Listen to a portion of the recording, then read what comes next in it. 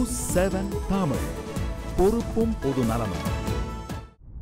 ஒவ்வொரு நாட்டோட பாதுகாப்பு துறையிலையும் விமானப்படையினுடைய பங்கு மிகவும் முக்கியத்துவம் வாய்ந்தது. அந்த வகையில இந்திய விமானப்படையில பல வகையான விமானங்கள் இருந்தாலும் தேஜஸ் உடைய பங்கு அப்படிங்கிறது முக்கியமானது. இப்போ தேஜஸ் விமானத்துடைய எண்ணிக்கையை அதிகப்படுத்த போறதா ஒரு தகவல் இருக்கு. அந்த தேஜஸ் விமானத்துடைய சிறப்பம்சங்கள் என்னென்ன அப்படிங்கறதை இப்ப நம்ம பார்த்தரலாம்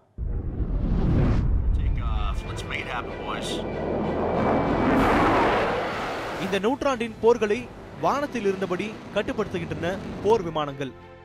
மின்னல் வேகத்தில் சீரிப்பாகின்றன. காற்றை கிழித்து செல்லக்கூடிய மனிதர்கள் நினைத்து கூட பார்க்க முடியாத அளவிற்கு உயர பறக்கும் பல போர் விமானங்களும் வானத்தில் வட்டமடித்துக் கொண்டிருக்கின்றன. இந்த அதிநவீன போர் பறவைகள் கூட்டத்தில் சேர்கிறது முழுக்க முழுக்க இந்தியாவில் தயாரிக்கப்பட்ட Tejas LCA light combative aircraft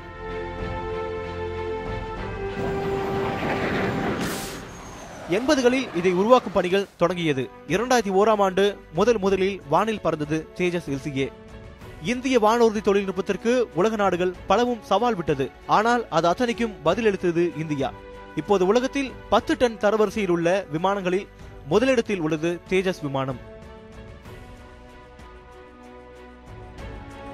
நான்காம் தலைமுறை விமானத்திற்கு இருக்க வேண்டிய வேகம் துல்லியம் ஆயுதம் போன்ற அனைத்து அம்சங்களும் தேஜாஸில் உண்டு.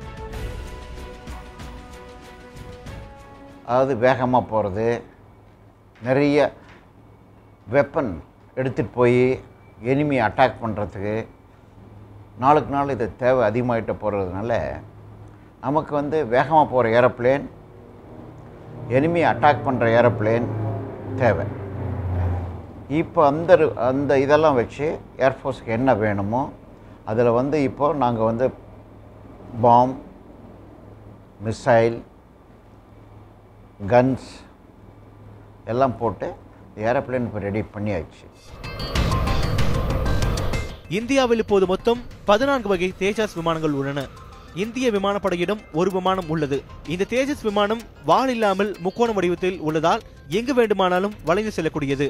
அதே போல இதன் உள்ளே இயங்கும் கியர்கள் மற்றும் லீவர்கள் ஃப்ளை பை ஒயர் என தொழில்நுட்பத்தில் இயங்குகிறது.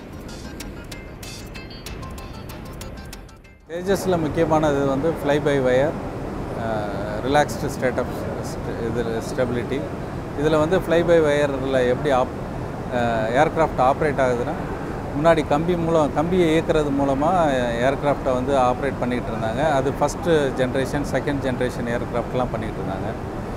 எல்சிஏ தேஜஸ் வந்து தேர்டு ஜென்ரேஷன் ஏர்க்ராஃப்ட்ன்றதுனால ஃப்ளை பை வயர் இந்த கம்பி கம்பிக்கு பதிலாக ஃப்ளெக்சிபிள் வயரை யூஸ் பண்ணி so the control signal can be processed.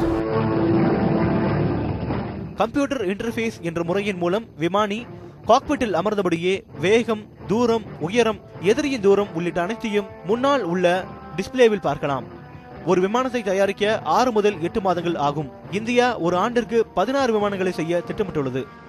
இதுவரை இரண்டாயிரம் முறைக்கு மேல் அனைத்து வகையான சூழல்களிலும் தேஜஸ் சோதனையிடப்பட்டது கடந்த பத்து ஆண்டுகளாக தேஜஸ் விமானத்தை சோதனையிட்டு வருகிறார். இருபத்தி ஆறு ஆண்டுகளாக விமானியாக பணிபுரியும் சுனித் கிருஷ்ணா. இந்த விமானத்தில் உள்ள ஆயுதங்களை பற்றி அவர் நமக்கு விளக்கினார். It's only got one uh, uh, only one pilot sits in the cockpit. We have uh, இதில் ஒரு விமானிக்கான இருக்கை மட்டுமே உள்ளது. ஒருவர் மட்டுமே இதை இயக்க முடியும். இந்த jet இன்ஜின் engine இங்குதான் பொருத்தப்பட்டுள்ளது. இது ஒரு ஜெட் the மிகவும். சக்தி வாய்ந்தது. துப்பாக்கிகள் உள்ளிட்ட ஆயுதங்கள் இந்த கீழ்ப்பகுதியில் பொருத்தப்பட்டிருக்கு குண்டுகள் மற்றும் ஏவுகணைகள் ரெக்கையோட இந்த பகுதியில் பொருத்தப்பட்டிருக்கு வேறுபட்ட வகையில சேர்ந்த ஆயுதங்களை இதுல பொருத்தலாம் சாதாரண விமானங்களை போல இல்லாம வேறுபட்ட வடிவத்துல இறக்கைகள் மற்றும் வால் பகுதி உருவாக்கப்பட்டிருக்கு பின்புறத்துல ஜெட் ஜெட் என்ஜினோட பின்பகுதியை நீங்க பார்க்கலாம் it's only one delta platform uh. It has got all the latest combat system. It's got a good radar. இந்த போர் விமானம் நவீன தொழில்நுட்ப வசதிகளை பெற்றிருக்கு Got, uh, very accurate weapons. துல்லியமாக இலக்கை தாக்குற uh, ஆயுதங்கள் தொலைத்தொடர்பு வசதிகள். இதுல இருக்கு Okay. So, எதிர்காலத்துல இதுல uh, கூடுதல் வசதிகள் இடம்பெற வாய்ப்பு இருக்கு also have the data link to communicate with other aircraft and uh, do a group, uh, do a link with the AVACs. வானூர்தி தொழில்நுட்பத்தில் இந்தியா இப்போது முதல் ஆறு இடங்களில் உள்ளது இன்னும் சில ஆண்டுகளில் மேலும் பல முன்னேற்றங்கள் நமக்கு உண்டு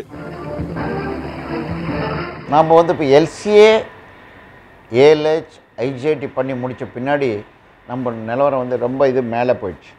கேப்பபிலிட்டி வைஸ் வீ கேன் டூங்கிற மாதிரி.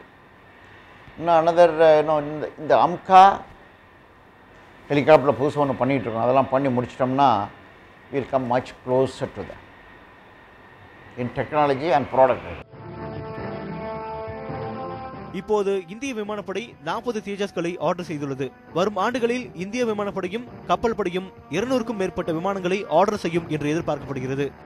மேலும் Tejas advance medium combative aircraft என்ற மேலும் சக்தி வாய்ந்த அதிக எடையுடைய விமானத்தை உருவாக்கும் பணிகள் நடந்து வருகின்றன. இரண்டாயிரத்தி இருபதுக்கு மேல் இதுவும் தயாராகி இந்திய வானூர்தி தொழில்நுட்பத்தை அடுத்த கட்டத்திற்கு எடுத்துச் செல்லும். கிட்டத்தட்ட முப்பது ஆண்டுகளுக்கு மேல் நடந்த ஆராய்ச்சி பிறகு தற்பொழுது தேஜஸ் ஆனது முழுக்க முழுக்க இந்தியாவில் தயாரிக்கப்பட்டு தற்பொழுது விண்ணில் பறந்து கொண்டிருக்கிறது. ஆனால் இன்னும் முப்பது ஆண்டுகளுக்கு அதாவது அடுத்து வரக்கூடிய முப்பது ஆண்டுகளுக்கும் இந்திய விமானப்படையில் ஒரு முதுகெலும்பாக இருக்கும் இந்த தேஜஸ். Sanjeevi news seven Tamil Bengaluru.